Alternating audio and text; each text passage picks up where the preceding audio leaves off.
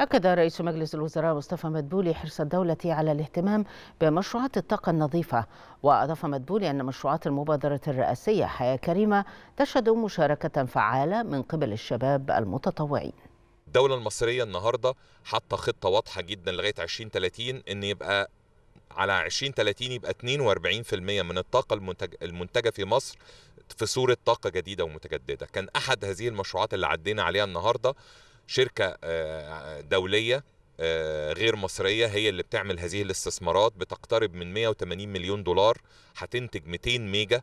إن شاء الله في شهر إبريل القادم هيبدأوا يخرجوا للإنتاج. وبالتالي كل ما بننتج هذه النوعية من المشروعات مشروعات الطاقة الجديدة والمتجددة كل ما بنقلل اعتمادنا على الغاز وعلى المازوت وعلى الوقود الأحفوري في إنتاج الطاقة. وكل ما بيدينا فرصة إن إحنا نوفر ال ال الوقود الإحفوري عشان نقدر نصدره ونجيب عملة صعبة.